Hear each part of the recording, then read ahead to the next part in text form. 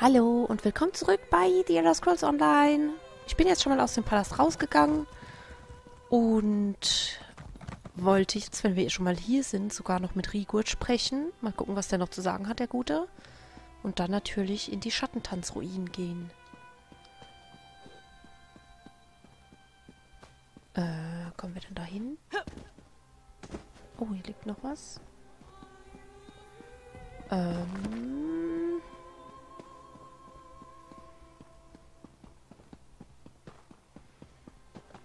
Vielleicht besser hier lang.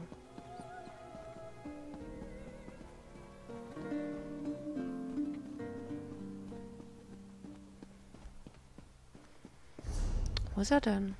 Ach, da irgendwo. Da sind diese Handwerksschriebe, tägliche Quest. So. Da oben. Rigurt. Wo ist er denn jetzt? Hilfe! Ach, da hinten dran.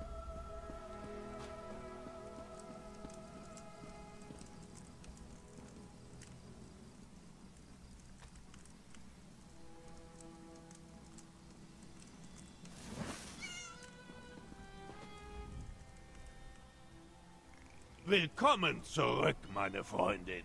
Rigord hat Fürstin Itza gefunden. Sie ist nicht so gesprächig wie die Damen in Windhelm, aber sie hat wirklich Klasse. Rigord ist sich sicher, dass eine Nordballade sie überzeugen wird, Frieden zwischen Nord und Khajiit zu stiften. Wo sind die schreienden Mammuts? Sie schaffen es leider nicht, aber sie haben mich eine Laute und eine Trommel ausleihen lassen. Die schreienden Mammuts haben euch ihre Instrumente anfassen lassen? Äh, ja, sogar mitnehmen. wollte sie mal nach einem Auftritt in Nibelheim anfassen. Und von den Schlägen tut ihm heute noch der Schädel weh.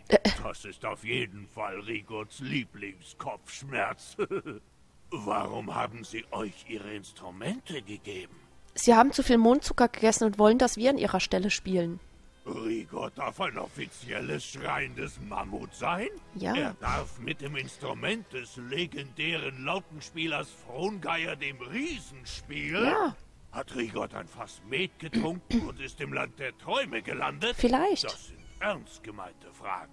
Rigord ist manchmal verwirrt. Das ist alles echt. Wenn ihr die Laute wollt, nehme ich die Trommel. Rigords Verstand explodiert wie die Spitze des Bergwardenfels. Met mit den Mammuts zu trinken ist das eine. Aber ihre Instrumente zu spielen übersteigt Rigurds wildeste Fantasie. Wir werden die beste Ballade für Fürstin Itza spielen, die Elsweier je gehört hat. Sicher doch, ich schnappe mir die Trommel.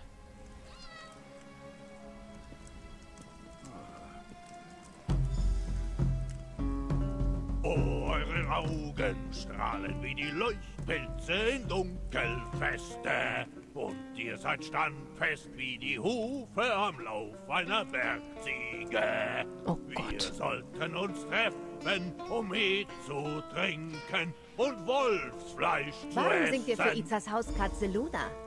Fürstin Itza, Rigott hat eine logische Erklärung.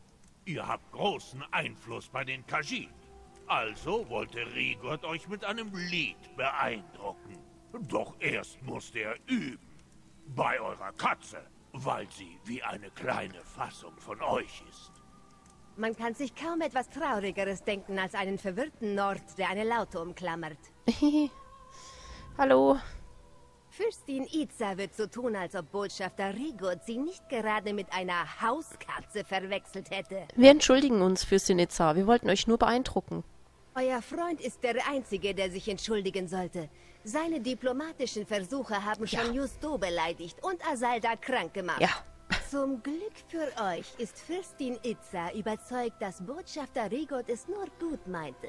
Sie hat ihm sogar ein Friedensangebot mitgebracht. Ihr habt Rigord ein Friedensangebot mitgebracht? Rigord muss für seine komische, doch wohlmeinende Mission zur Verbesserung der Beziehungen zwischen Nord und Khajiit belohnt werden. Fürstin Iza hat ein Ehrenhalsband mit Glocke mitgebracht. Er sollte es überall in Elsweier tragen, damit wir immer wissen, wenn er in der Nähe ist. Belohnt ihr öfter Leute mit Halsbändern und Glocken? Nein, aber Wir merken doch alle, mhm. dass Botschafter Rigot etwas ganz Besonderes ist. Mhm. Diese überreicht ihm nun diese würdige und totschicke Belohnung. Ich werde sicherstellen, dass Rigot auch weiß, was für eine Ehre das ist. Oh Gott. Fürstin Itza ist mehr als begierig darauf, ihren Einfluss dafür einzusetzen, Frieden zwischen Nord und Kajit zu stiften, nicht wahr? Ja. Nichts löst Probleme besser als eine traditionelle Liebesballade der Nord. Nun ja, außer mir. Fürstin Itza hat euch ein Ehrenhalsband mit Glöckchen verliehen. Ein Halsband samt Glöckchen, das so gefertigt ist, dass es um Rigots Stiernacken passt? Rigot wird es mit Freuden bimmeln lassen. Bitte nehmt dieses Geschenk an, meine Freundin. Ohne euch hätte Rigot keinen Frieden zwischen den Nord- und den Kajit stiften können. Das ist ja furchtbar. Fürstin Itza, ein Halsband. Dieses Lied ist Rigots Lieblingshilfsdiplomatin gewidmet. Und Fürstin Itza. Und dieser Hauskatze. Und dem wachsenden Frieden zwischen Nord und Kajit. Äh, ja, äh, und dem Med. Fürstin Itza wird ihr Bestes für den Frieden zwischen Nord und Kajit tun, damit ihr nach Himmelsrand zurückkehren könnt. Oh mein Gott. Ob das jetzt so erfolgreich war, I don't know. Aber sieht zumindest mal so aus. So, was haben wir hier? Wegschreien von Krempeln.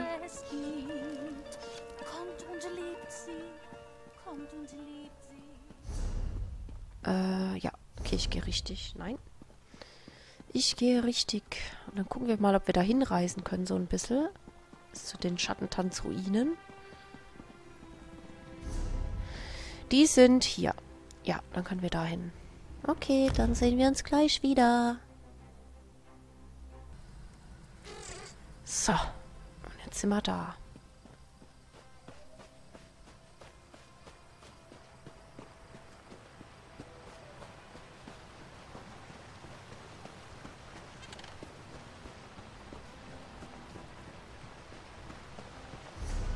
Also halbwegs. Wir müssen jetzt noch hinlaufen.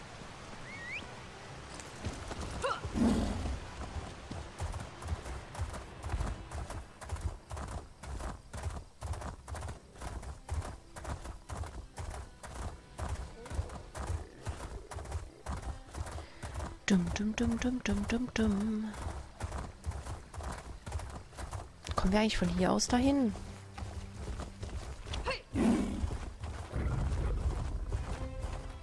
Ich weiß, hier steht eine Truhe, aber ich lasse die mal stehen, weil ich habe eh keinen Platz.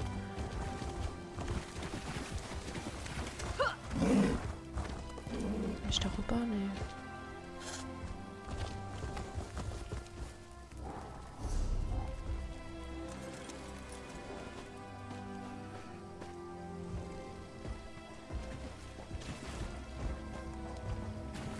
würde nämlich gerne diese Scherbe mitnehmen.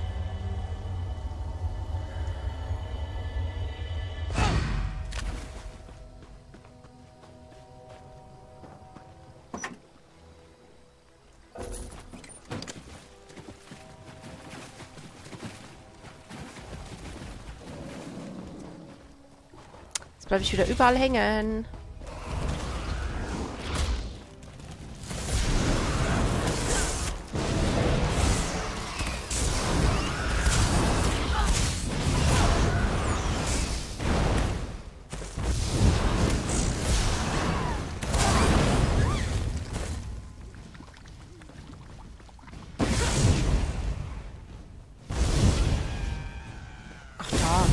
gar nicht gesehen.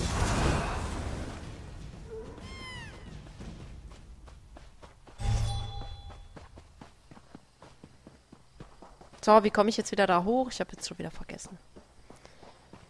Wie komme ich da hin?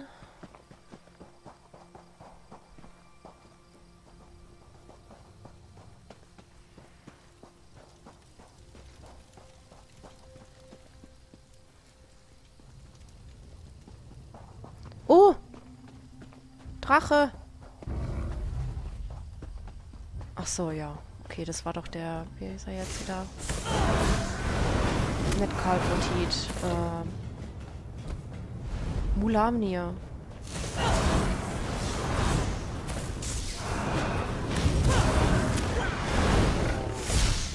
Viel zu lange keine Drachen hier gesehen.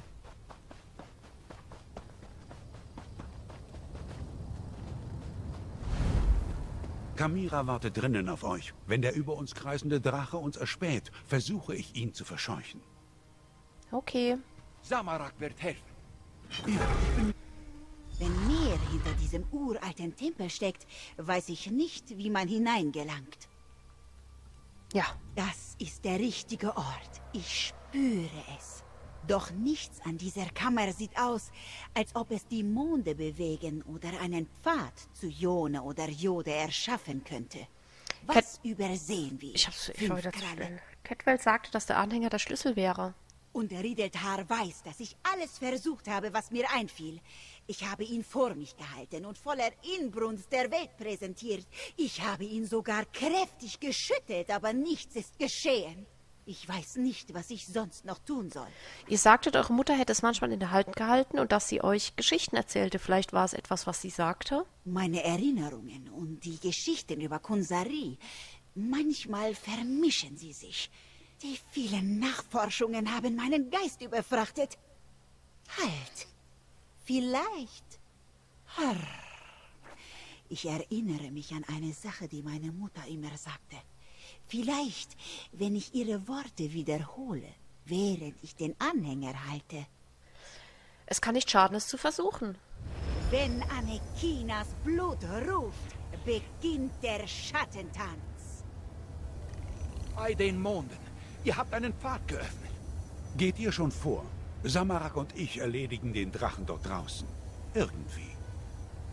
Mögen die? Monde über euch wachen. Kommt, Fünfkralle. Mal sehen, wohin das hier führt. Okay. Der Schattentanztempel. Wurden die Mondpriester zu dogmatisch und zu streng ihr, bei ihren Einschränkungen im Sinne der Reinheit oder mussten ihre Geheimnisse um den Schattentanz begraben werden? Aus welchem Grund auch immer blieb den Hierarchen der zwei Monde nichts anderes übrig, als die Städte aufzulösen. Mondbischof Hunal.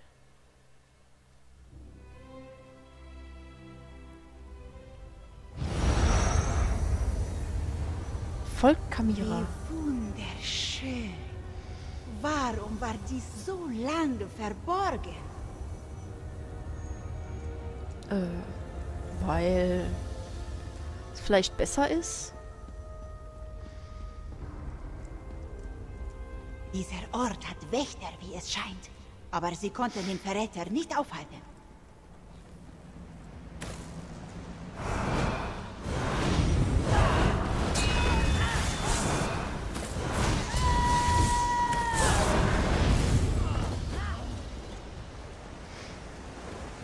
Jetzt bin ich ja gespannt.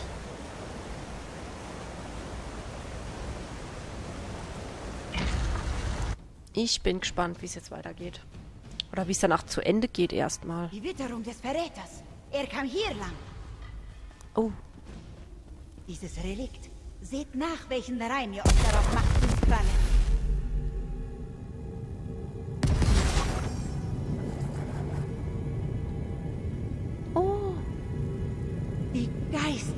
Erwachen.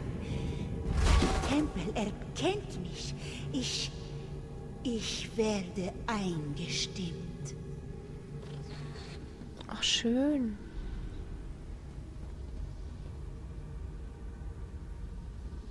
Sagen die noch was oder? Ich hoffe nicht.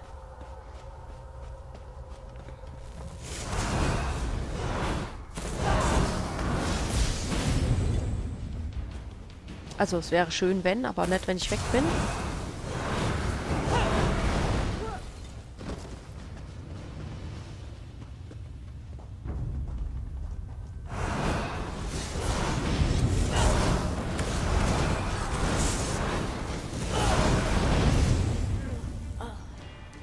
Oh, was ist das? Chroniken von Juhari, Kapitel 1. Den Kindern des Jenseits sei versichert, von den Riedeltar weiß, dass sie in Fleisch gehüllt sind, dass sich im Angesicht der heiligen und triumphierenden Seele der Weg in die Träume zeigen wird. Kapitel 1 Ein Jüngling kam zu uns und fragte mit aller Verehrung Juhari von, dem, von Weißsand, ob er den Tanz der Schatten lernen könnte, denn er hatte viele von, vor ihm vom großen Tanz von Anekina Schafzunge gehört, der geschätzten Vertrauten von Kunsari. Mit einer Zunge voller Plattitüden und Unterwürfigkeit flehte er Jurari an, sein Wissen zu teilen, denn der Jüngling glaubte, ein Tanz, der die Monde bewegen kann, müsse wunderschön anzusehen sein. Und Juhari schenkte dem Jüngling das Lächeln, das er den Jungen immer schenkte, eines voller Traurigkeit und Mitleid. Er fragte den Jungen, wie lehrt man eine Schlange zu gehen, wie lehrt man eine Eule ein Feuer zu machen oder einen Affen zu beten. Der Jüngling verstand, Juhari ihm sagen wollte. Er dankte dem großen Weisen von Weißsand über seine Worte und machte sich auf seinen langen Heimweg. Juhari rief dem Jüngling nach, und obwohl der Weise von Weißsand kaum hörbar flüsterte, trug der Wind die Stimme, als käme sie direkt von Jone und Jode. Juhari dem Jüngling bot dem Jüngling an, sein Wissen über den Tanz mit ihm zu teilen. Der Jüngling war verwirrt. Man konnte eine Schlange nicht lehren, wie man geht. Keine Eule konnte Feuer machen. War das denn nicht damit verglichen worden, wie es sei, den Tanz der Schatten zu lehren? Der Weise von Weißsand nickte. Eine Schlange bleibt immer eine Schlange, eine Eule immer eine Eule. Aber die Seele kann viele Gestalten haben, obwohl es Lebenszeiten dauern kann, bis diese bis sie diese einnimmt. Vielen ist dieser Preis zu hoch und sie werden den Tanz der Schatten nie kennen. Der Jüngling nickte und überlegte, und als Juhari sich in den Tempel des tanzenden Schatten zurückzog, folgte ihm der Jüngling. Ah, fertig. Teil 1. Okay. Bitte, Sir Cadwell. Ihr seid Teil von Kunsaris Krajun. Warum tut ihr das? Ich will, was Kunsari verborgen hat. Und ich muss die Monde bewegen, um es zu bekommen. Oh. Wenn ein paar Katzen dabei sterben müssen, was soll's? Ach, Cadwell, warum? Ihr seid wahnsinnig. So redet ihr mit eurem neuen Gott? Der Tempel. Manieren! Er zeigt uns, wie der Verräter sich eingestimmt hat. Oh, das finde ich aber echt nicht so schön. Ach, Cadwell, ich hab dich so gern eigentlich. Das gefällt mir gar nicht. Noch ein Tempelrelikt. Aktiviert für mich, Fünfkralle.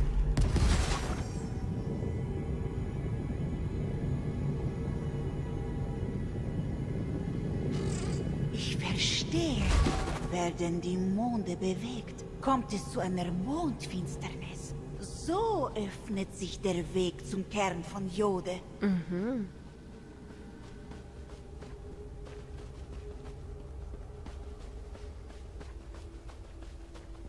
Es ist fast schon schade, dass Anukinas Getreue sich auf meine Klinge stürzen. Aber nur fast.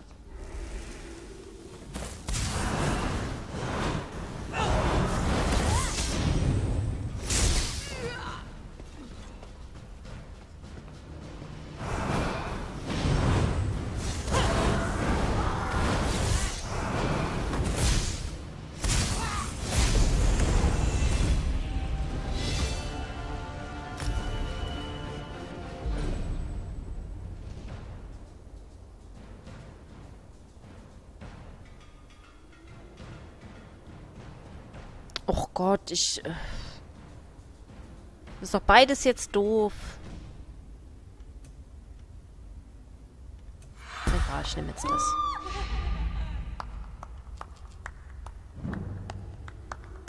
Klatsch, klatsch, klatsch. So.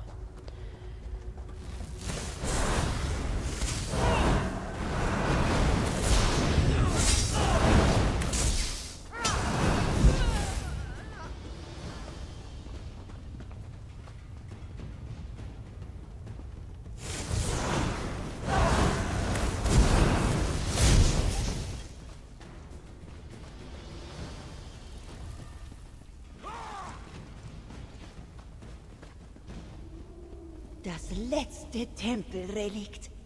Da ist es. Aktiviert es bitte.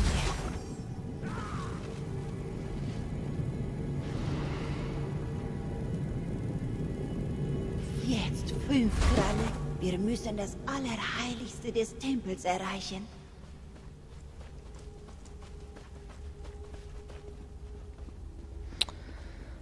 Oh Gott. Halt, meine Freundin. Unterhalten wir uns, bevor wir den Verräter stellen. Okay. Diese uralten Erinnerungen werden mit jedem Augenblick, der verstreicht, klarer. Wir folgen demselben Pfad, den die legendären Helden beschritten. Kunsari, Anekina, der Verräter, sie alle wandelten hier, um das Herz von Jode zu erreichen. Erzählt mir alles, was die eingestimmten Erinnerungen euch gezeigt haben. Ich erkenne die Wahrheit der Mythen und Legenden. Kunsari überlistete Kalgrontit, damit dieser die Macht der Drachen in Jodes Kern speicherte. Danach lockten die Helden der Krajun sie in die Kolossalen und versiegelten die Tore. Genau, dann stach der Verräter Kunsari hinterlistig nieder. Ja, er ermordete Kunsari und kam dann in diesen Tempel, um die Macht zu erhalten, die Monde zu bewegen und den Weg zu Jodes Kern zu öffnen. Wisst ihr, der Pfad erscheint nur am Mondtor von Anekina, wenn die Monde ausgerichtet sind. Wie bei einer Mondfinsternis. Die Mondpriester haben damals den Verräter aufgehalten. Stimmt. Aber viele starben, bevor sie ihn enthaupteten. Der Verräter war der größte Krieger seiner Tage. Falls es zu einer Schlacht kommt, wird sie nicht leicht werden. Es gibt eine Apparatur im Refugium, die mit dem großen Mondtor verbunden ist. Danach suchen wir. Ihr kümmert euch um die Apparatur und ich kümmere mich um den Verräter. Wir werden jenen Ort betreten, an dem der Verräter seine größte Niederlage erlitt, wo er durch die Hände der verbliebenen Helden und Mondpriester starb. Wir müssen dafür sorgen, dass die Geschichte sich nicht wiederholt. Habt ihr einen Rat für den Kampf gegen den Verräter? Der Schatten von Anekina verdunkelt sich vor Zorn, wenn ich an ihn denke. Selbst vor seinem Verrat verabscheute sie diesen Kerl. Er war stolz, eitel, ein großartiger Schwertkämpfer, aber auch aufgeblasen und überheblich. Vielleicht ist das seine Schwäche, der Stolz. Hm, vielleicht. Gewölbe der himmlischen Geißel. Hier geschah er der Vorfall, der zur er der Aufhebung der Adepten der tanzenden Schatten führte. Alle Einzelheiten zur Schreckenstat wurden auf Erlass des Schwurgerichts der zwei Monde aus den Archiven der Mondbischofe gelöscht. Oha. Jetzt bin ich gespannt. Ich bin gerade auch so ruhig, weil ich viel zu gespannt bin. Oh nein. Zu spät, ihr Narren! Die Mondfinsternis hat begonnen! Ich werde mir die Macht mit den Drachen teilen. Großherzig, findet ihr nicht?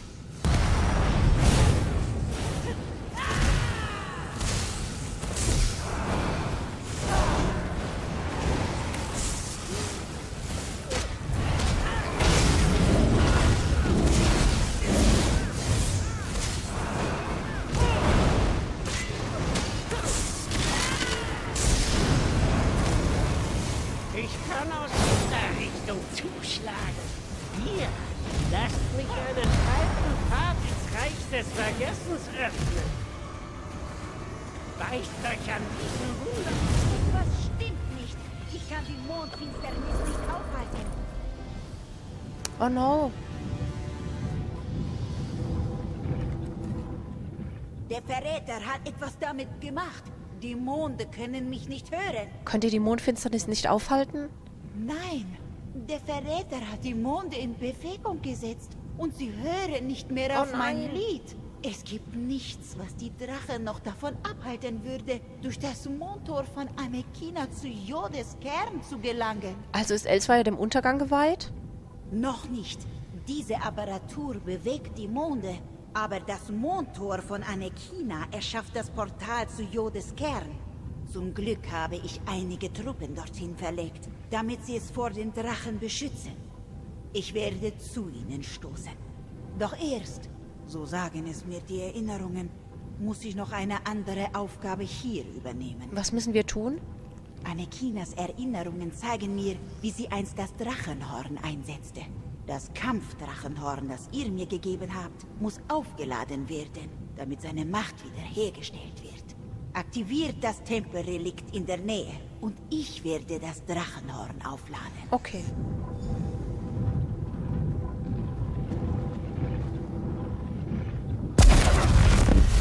Kunsari, Anekina, Kadwe, Jone und Jode, sie alle im Drachenhorn.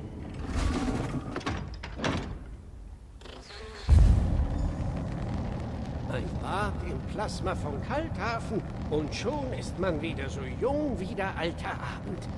Na, wo steckt mein böses Selbst? Wo ist der Unhold? Lasst mich an ihn heran. Ich kehrte so schnell ich konnte zurück, um euch zu helfen und dem Verräter eine ordentliche Abreibung zu verpassen. Der Verräter wurde vernichtet, doch was ist mit euch? Ich fühle mich tipptopp, muss ich sagen. Ich dachte, es läge an der bequemen Enge meines geliebten Kalthafens. Doch ich schätze, es hat wohl doch mehr mit der Vernichtung meiner anderen Hälfte zu tun. Nun, das war eine schöne Schau. Die Welt ist gerettet. Nicht wirklich. Der Verräter hat die Monde in Bewegung gesetzt. Wenn sie sich ausrichten, können die Drachen den Kern erreichen. Das klingt gar nicht gut. Nee. Lasst mich nachdenken. Hm.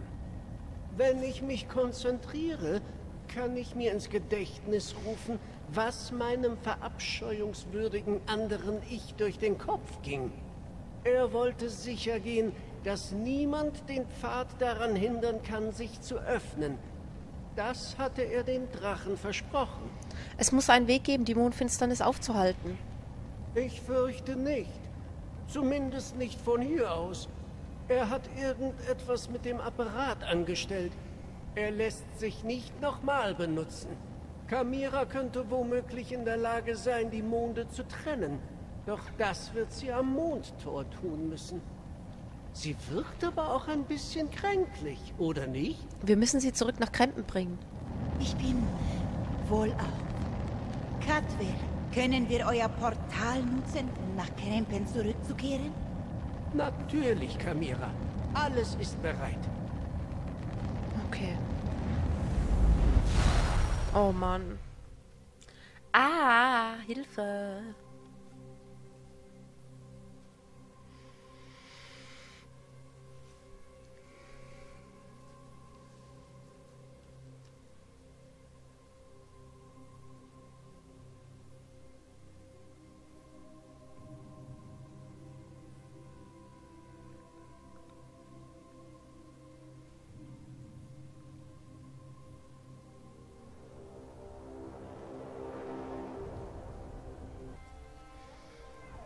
Kamira.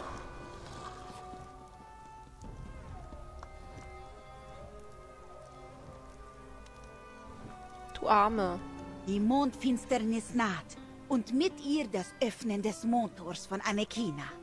Wir haben nur noch wenig Zeit, bevor der Weg zu Jodis Kern erscheint. Wenigstens bin ich eingestimmt. Und ich konnte das Drachenhorn aufladen. Was machen wir jetzt, Kamira? Garesh Ri ist bereits zum Mondtor von Anekina aufgebrochen, um dort die Truppen zu führen. Wir schließen uns ihm bald an. Vielen Dank für die Hilfe bei meiner Einstimmung, Fünfkralle. Mit euch und meinen Ahnen an meiner Seite werden wir einen Weg finden, um die Drachen aufzuhalten. Ja, und ich muss wieder irgendwas hier löschen. Sonst habe ich keinen Platz. Garesh, wir haben den Verräter aufgehalten. Aber nicht bevor er die Monde in Bewegung setzte. Bald werden sie sich ausrichten. Wenn die Mondfinsternis beginnt, öffnet sich das Mondtor von Anekina und gewährt Zugang zu Jodes Kern. Und genau das wünschen sich die Drachen. Wie viel Zeit bleibt noch? Etwas, aber nicht viel. Zum Glück haben wir erwartet, dass es eine Verbindung zu dem Mondtor gibt und Garesh schon mit allen Truppen vorgeschickt, die wir erübrigen konnten. Leider waren das nicht sehr viele. Ich wünschte nur, wir hätten einen Notfallplan. Was ist mit dem Drachenhorn? Das Kampfdrachenhorn ist aufgeladen, aber wir kennen noch immer nicht sein volles Potenzial. Wir dürfen seine Energie nicht vergeuden. Daher sparen wir es uns auf. bis es wirklich gar nicht mehr anders geht. Wir sollten uns nun auf den Weg zum Mondtor machen. Sagt unseren Gefährten, dass es Zeit wird. Ich versammle unsere Verbündeten. Unsere Gefährten haben den Palast verlassen, um Krempen zu durchstreifen und näher zu überdenken, was nun zu tun ist. Sucht nach Abnurtarn, Samarak und Präfekt Kalo. Auch nach Katwell, falls er noch hier ist. Ich hätte gern, dass Sie am Mondtor zu uns stoßen. Doch ich habe Verständnis, wenn Sie das nicht wollen. Was ist, was ist euch nun eigentlich im Schattentanztempel widerfahren?